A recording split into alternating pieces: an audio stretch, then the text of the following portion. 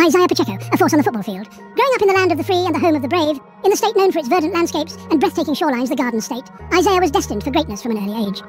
This dynamic running back, a whirlwind of energy and raw talent, has been making waves since his days at Vineland High School. His journey started on the local fields of his hometown. Passion and dedication to the sport were first ignited.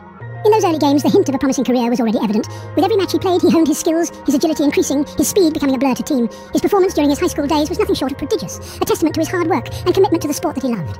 His prowess on the football field didn't go unnoticed. Scouts and coaches alike were drawn to his undeniable talent, his ability to weave through defence like a dancer, his power to break through tackles like a bulldozer.